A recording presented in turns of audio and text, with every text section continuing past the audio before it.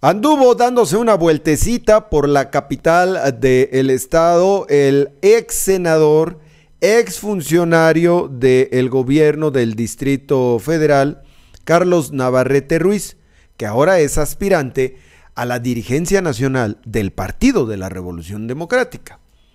Oiga, unas declaraciones medio controversiales, hasta le hago así, controversiales que hizo este señor Carlos Navarrete Ruiz. La primera de ellas, que esta va a levantar polvadera. A ver qué opinan ustedes. Desde el punto de vista la óptica y como resultado de un análisis objetivo y profundo, Carlos Navarrete dice que Michoacán necesita que el PRD regrese a tomar las riendas del gobierno. ¿No me cree? Escúchelo. Michoacán está en un proceso muy difícil de recomposición social y de estabilidad en, sus temas de seguridad.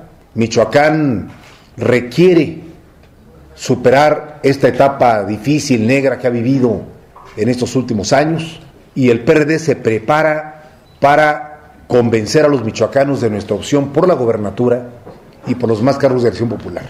Michoacán necesita un gobierno estable, un gobierno que convoque a lo mejor que tiene el Estado, sus hombres y mujeres, un gobierno que sea capaz de convocar a todas las fuerzas políticas del Estado para impulsar un programa común y el PRD tiene que prepararse para ser la fuerza convocante.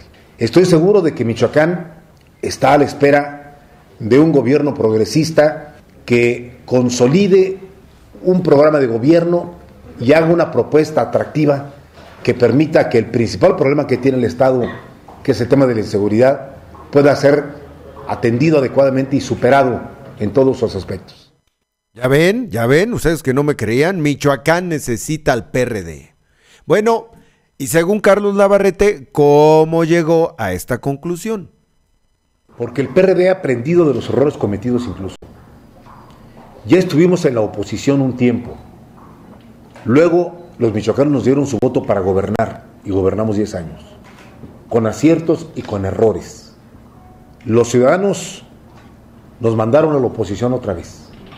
Hubo una alternancia para que el PRI regresara con esperanza de que el PRI mejorara las cosas y no ocurrieron. Es decir, la alternancia por del PRI fue un fracaso. Está, es evidente que esto ha ocurrido. El PRD con los errores cometidos y la reflexión que ha hecho, tiene que renovarse para presentar una nueva propuesta a Michoacán, con una nueva actitud, con un nuevo programa, con un nuevo planteamiento político.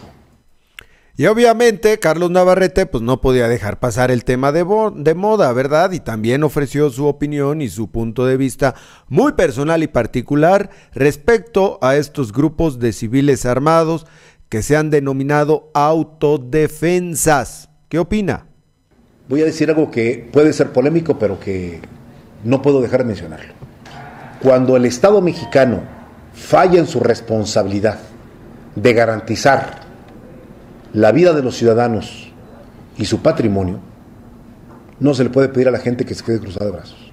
Y cuando en zonas de Michoacán el Estado abdicó de sus responsabilidades y abandonó zonas completas de Michoacán para que la tomaran los delincuentes, que intervinieron incluso en la vida personal de cada gente de esas regiones, sus productores, sus empresarios, sus comerciantes, hasta niveles pequeños, cuando la delincuencia afectó las tortillerías y a los mercados y a los talleres mecánicos y a los hoteles y a toda la actividad productiva, sin que el gobierno tuviera capacidad de frenar eso, se generó un fenómeno social que fue la autodefensa. Ahí están. Ahora, el gobierno ha decidido intervenir, qué bueno que lo haga. Hay planteamientos diversos para que los ciudadanos que, incluso armados, decidieron defenderse, entren en un proceso de regularización. Sé que no será fácil, pero hay que seguirlo intentando para que esto se dé por vía del convencimiento y sobre todo de la demostración de que el gobierno federal será capaz de preservar lo que hace un tiempo no podía hacer, la seguridad de todos. Digo, creo que ese análisis es correcto. Es más, lo comparto. Lo que sí se me hace controversial es asegurar que Michoacán necesita que el PRD regrese a tomar las riendas del gobierno. Digo, al final ustedes decidirán en las urnas. Al final. Así las cosas con don Carlos Navarrete. Esto es Frecuencia Informativa Libre.